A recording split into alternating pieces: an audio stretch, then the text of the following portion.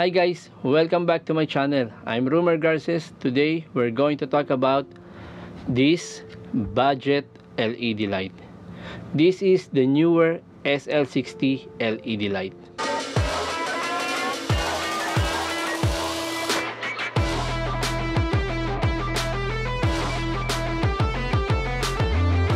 I bought this Neewer SL60 LED light last year together with my Godox SL60 watts. This one is better than Godox SL60. I returned my Godox and then I sold uh, my second Godox SL60.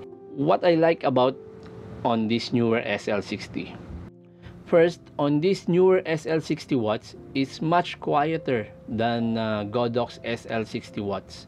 The fan on Godox, it's much louder. You can hear it from your microphone. This one, it's really silent. But this second version that I got from Neewer, it's a little bit louder from the first version that I got. I don't know if um, the one that I had for a year the one that I'm using right now is the second version and I got the first version because this is my third one that I ordered. I returned my uh, second one and then I replace it with this one. I asked them why it has a different um, fan and the fan noise. And it's really the same. The build are the same. Button are the same. All the same except for this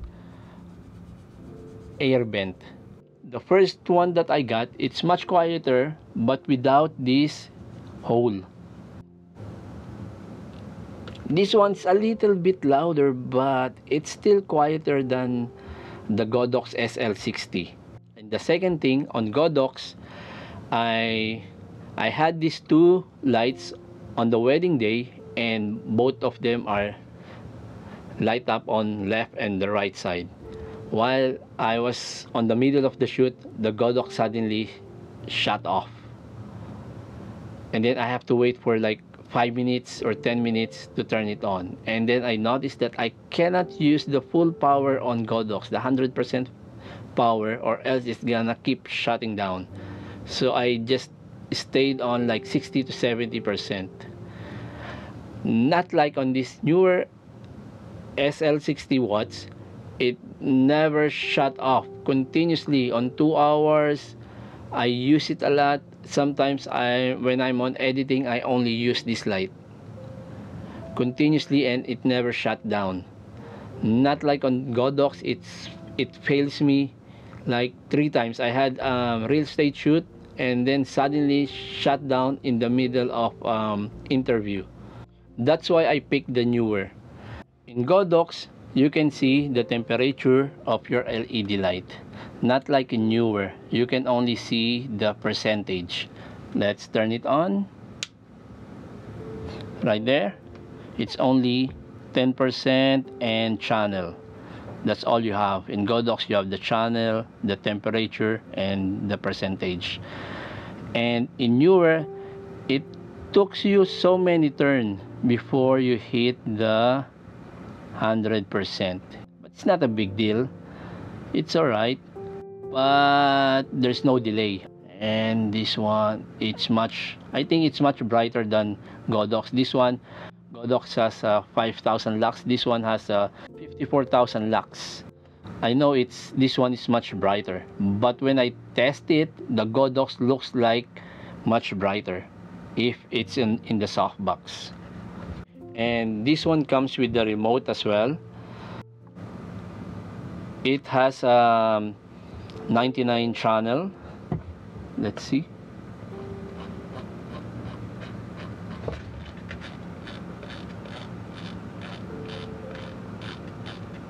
Yes up to 99 channel.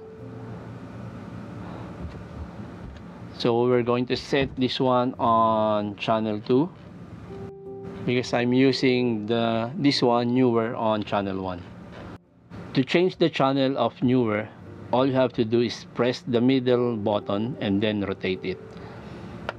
Okay that's all set. And we're gonna turn this one on and set it to channel 2 okay? On Godox there's a slightly delay on the remote. So when you press down the remote continuously it doesn't synchronize automatically. You have to release the button before it will synchronize on the remote. On on this Neewer it will synchronize at the same time so you can see it straight. So we'll, we're going to try it out. So I'm now on channel 2 and we are on 10% and I'm going to press the plus Did you see that? At the same time. In Godox, you have to release the button before it will sync on the LED light. In Neewer, you can change it the same time. But on the remote, it only says up to 99% but 100% on LED light. Right there. One, to there's no delay. That is why this Neewer is much better than Godox SL60 and in Godox remote you can only lower it down up to 25% in Neewer you can lower it down up to 10% and in this Neewer it has a circle LED light. In Godox you will get the square one. So I, I don't know which one you prefer but I prefer the circle one because it's giving you um, a soft edge. But you're not gonna notice it if it's in the softbox but if you are going to use the the reflector the 7 inches reflector and then you point it out on the wall you can see it that it has an hard edge on um, Godox because it has a square LED light. Um, I don't have the Godox right now to show it to you. I wish that before I sold it, I tried it first and show you the difference of these two. And um, the fan of this one, it's much quieter than Godox.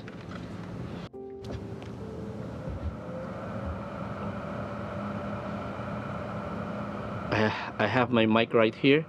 And the one that I have it on softbox right now the one that I'm using it's much quieter than this. So uh, I send an email on Neewer if they can send me the one that I have right now.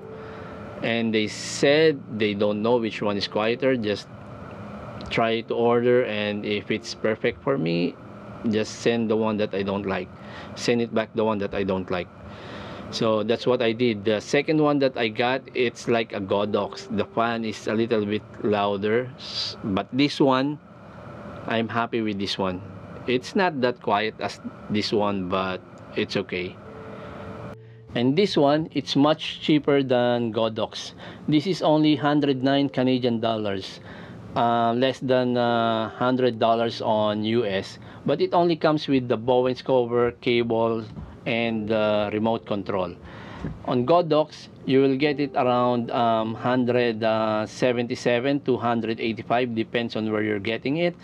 But you will get some accessories like a 7 inches reflector, barn door, grids, filters, depends on which one you like.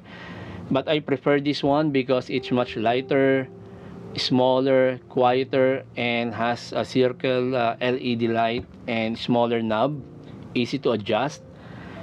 And the remote synchronized accurately not like in Godox that has delay. So um, yeah. So I think this one is much better than Godox SL60 so if you are looking for a cheap budget LED light this one is the one that I suggest.